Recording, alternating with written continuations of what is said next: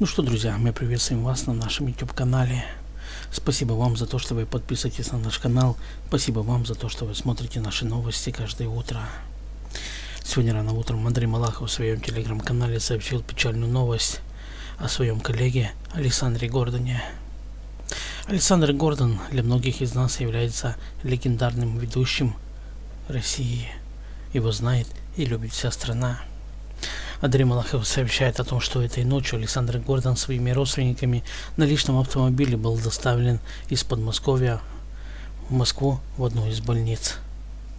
Оказывается, у телеведущего поднялось артериальное давление. Чтобы не ждать скорую помощь, родственники решили привезти его в больницу раньше, чем скорая. На данный момент он находится в 13-й больнице города Москва. Врачи уже оказали ему медицинскую помощь. Что будет дальше, пока неизвестно.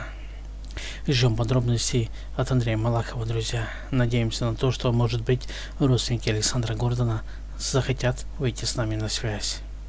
Оставайтесь с нами, подписывайтесь, будьте всегда рядом, друзья, и до скорых встреч на нашем YouTube-канале.